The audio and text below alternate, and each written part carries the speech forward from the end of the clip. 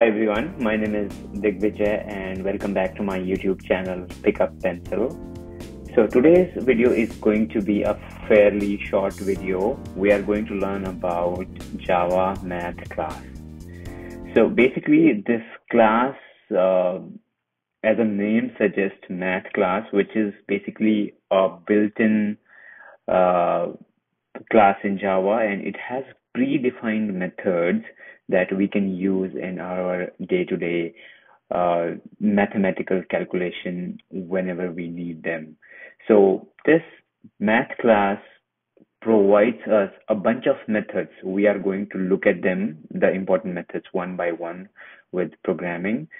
So this class basically provides us those useful methods. We can directly use them we can directly invoke those methods and we can have the desired out output. So, and those methods are basically around the mathematical calculation. So this math class is provided under the java.lang package. So basically package is something which contains a multiple classes and this math class belongs to java.lang package. And the way you will use this class and any method you want to invoke through this class through this class name, which is math dot method name. So basically, if you want to have a, a maxim max method, so math, dot max, and we are going to look into detail how actually we are going to invoke the methods from this math class. So let's start.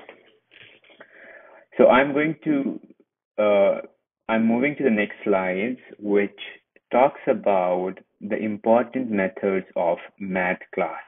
So if you see here, there are a bunch of methods here, which are readily available in the math class, and we directly have to invoke them, and we can get the desired output. So if you see math.min, max, power, square root, cubic root, log, absolute, rint, fill, floor method, exponential method. So all of the methods which you actually, all these, all the terms you may be finding very similar in the mathematics subjects.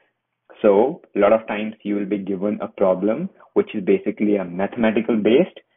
So you should know or a formula is given, but you have to solve that, so solve that whole equation or the formula by applying these methods which are available in the math class. So next, I'm going to open the editor where I have already have a program uh, written and we are going to go over the program one by one and we are going to see the application and how to really use these important methods of math class. So I'm going back to my this Java editor I'm using, I use IntelliJ, but you are free to use any of the Java editor you want. So what I've done here is I have already made a simple program called, I've created a sample uh, class called math demo. It has a public static void method. You already know this. And then one by one, I am trying to show that how actually we can use these methods here one by one. So the first method we are going to talk about is min method. So min method is as the name suggests, it accepts two uh, integers. So two values and it can be a double and it can be a various data type. So right now I'm, I'm just taking integer, but you can take even double also. So if you see here, this min method accepts two integer and after this, once we have executed math.min method providing two integers, it will return us the minimum value between uh, basically which is the minimum value either 20 or 100 we know that you know it's obviously going to be 20 but this is how the program will let us know. And similarly you know i have um, i have another taken another example here with the double. So what i'm all I wanted to say here, it is not necessary that you know all the time you have to take integer because this min method can return a double value. That's why I've taken another variable min double and I'm applying the same form, same method math dot min passing two double values, right, which has a decimal and then I'm printing what this method is providing us the minimum value within these two. Okay, and similarly, so let me just show the demo of this section here. I'm going to run this program, run this math demo main program. It's building here, if you can see, and we are going to see a bunch of output. We're going to go them one by one. So if you see here, right, minimum value return int. So let's take an example of int. So minimum value is 20, obviously. Between 20 and 100, the minimum is 20. So that is why it's just a sample right now, 20 and 100, but you can use, you can provide any kind of number you want and you can use anywhere you want, wherever you want to do this kind of mathematical operation. And the second one is the minimum between 10.5 and 15.8 it's 10.5 so that is what it has printed here so let's uh, okay so next uh, we wanted to uh, see how we can invoke the max method of this math class. So i have taken the max integer math dot max method and i'm expecting the maximum value to be returned. So between the maximum value is returned is 100 if you see if you provide again max method again accepts two in, uh, two integers or it can be double or it can be other types as well. So it is going to uh, return the maximum value which is 100 and we can see it over here so let's take the example of the third important method which is the power method power raised so math dot power so what is going to be 2 raised to the power 4 right so that is how it is going to print here. Uh, 2 to the 4, 4 to the 8. So it's basically 4 uh, raised to power 2. So, so it's going to be 16. So 4 into 4 is nothing but it's here coming as 16. So, so it's basically 4 raised to power 2 is 16. So, and next we want to talk about the square root method. So square root method is uh, basically taking the square root of any number provided. So we can use this method here, math dot square root, math dot square root, and we pass 36, and it is going to return us the square root of 36. And we know the square root of 36 is 6, which is is provided by the this math dot square root method when we invoked it. Now, next is cubic root method. So I have taken a new variable called the double type math dot cubic root, which is cubic root of 30. I want to calculate cubic root of 30 and that is what I'm trying to print here. So when this method was executed, the cubic root of 30 was 3.17 this long value here. So we are going to see the demonstration of all these methods here which are provided in the math class. So all these methods, the code code for these methods is already you know available in Java. We are just using them. That's all it is. So next is the log method. I've taken a variable called log in double type. So math dot log. So what is the log value of two 2.5? So there can be hundred way hundreds of ways of looking the log value of any number you can use a table or any other you know references. But if you want to do it in java you just have to do math.log 2.5 what is the value log value of 2.5 log value returned is nothing but 0.9 this. So this is the output for that. Next is absolute. So math dot absolute. So absolute is basically nothing but as the name suggests returning the absolute value which doesn't have any positive or negative, which doesn't basically talks about the positive or the negative side. So that is why if we say math.abs, which is for absolute, and we provide a negative number, it will convert into that into the positive number.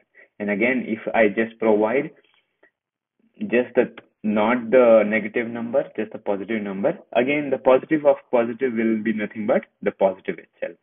So it is going to return the same result, which is 32.5. So absolute will take out the minus sign if it is provided. That's all it is.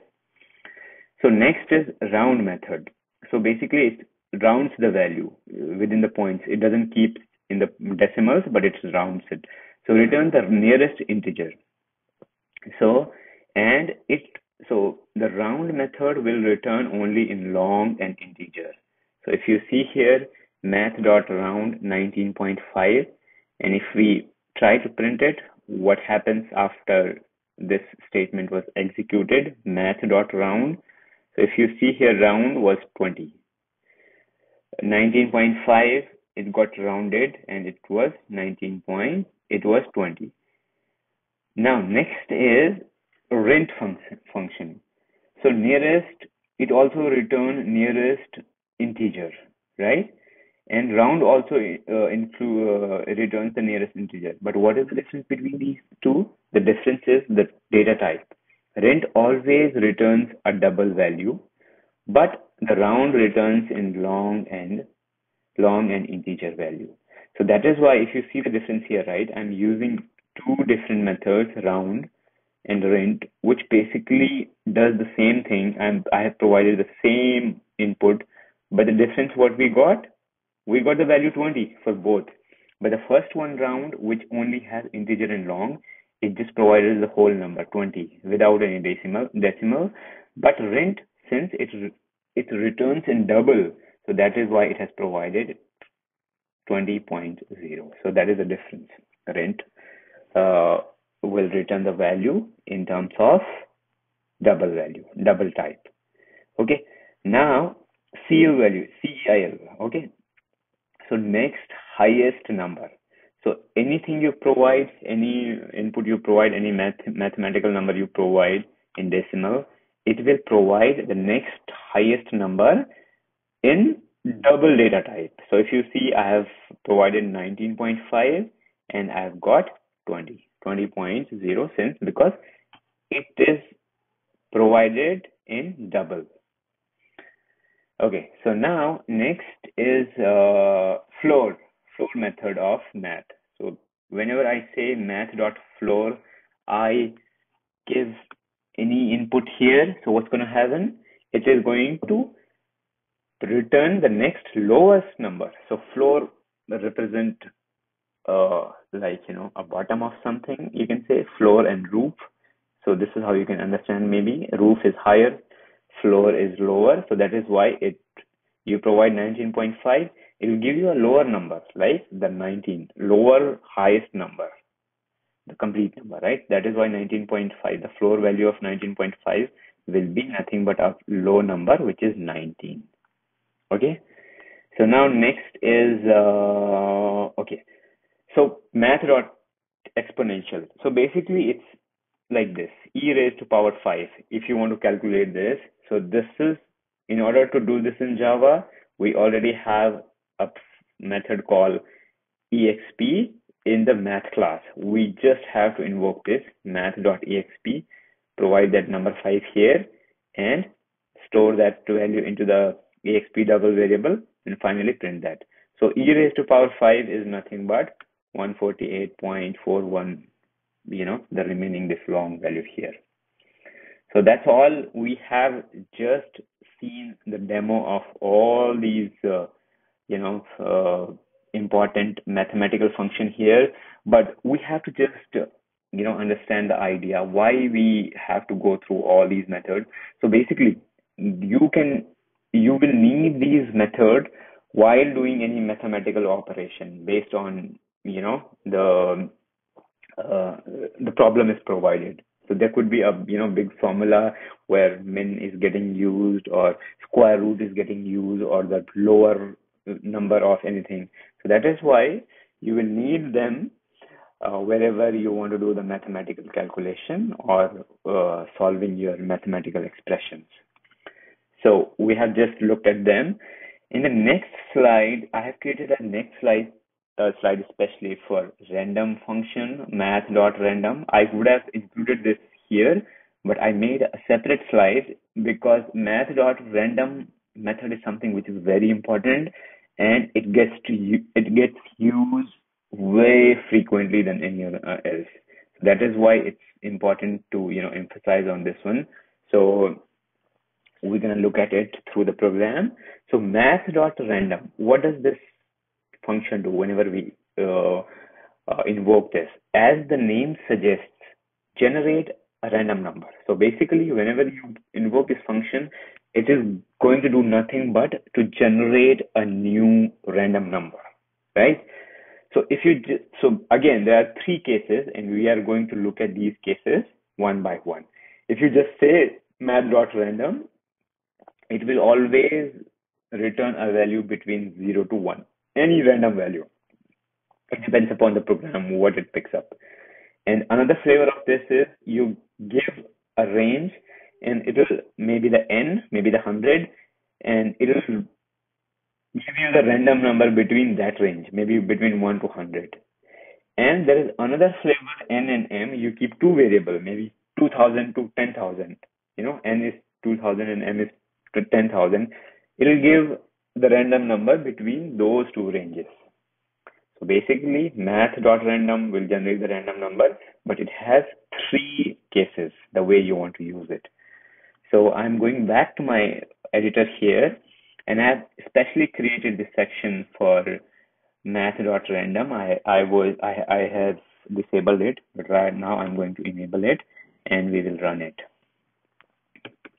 So if we take a look at here, math.random, the section name, Okay, so what I have done is I've taken three cases.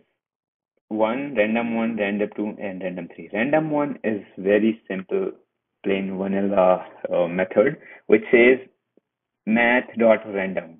So it, what it's going to do whenever this statement is going to get executed by Java, random number between 0 to 1 will be um, generated. Now the second one is now, this expression math dot random, right? And then we get, put the highest number, higher higher value, and then one. So random number between one to hundred is like this. This is how we go, right? Here hundred is nothing but the higher range, and one is by default is the lower range. So this is the second case. And the third case is whenever we want to give n and m. So n is the lower range and m is the highest range. So this is how we do it. Math dot random parentheses and bracket, then you know higher range minus lower range, and then at the end plus lower range. So it is it should randomly generate a number between 100 and 200. So let's let me just save this file and run it, and let's see the demo demo of this random section. It's building right now. Okay, let me just increase this a little bit. Okay, so if you see it here, let's focus on random number section here. Okay, if you see this section here, so the first case is random one, math dot random. Random number between 0 to 1, it has, the program has automatically generated this 0.45, which is nothing but between 0 to 1. Now, second case is, you know, we gave one higher range and lower range was by default 1. So the random number between 1 to 100. So 1 to 100 was the pro- program came up with 45. So and next time if I run it, something else will come up. And third one is between 100 to 200, it generated 155. So if I run this program again, next time program will generate maybe something else. We don't know that. So if you see earlier it was 45, now it was 23. Earlier it was 155, now it's 107 so that's why whenever you want to uh, put something in your program where you want computer to generate a number for you this math.random uh, function can be very handy so that was all the idea about learning this tiny math class but which come came out as a pretty useful sometime so that is why I encourage you to go over them and practice this with this small program like this. So that was all for today's session. Please keep uh, stay tuned for the next upcoming video. We're gonna learn a lot, many exciting new stuff. So that's all for today. I am Digvijay Parmar from my channel Pick Up Pencil and see you next time. Thank you.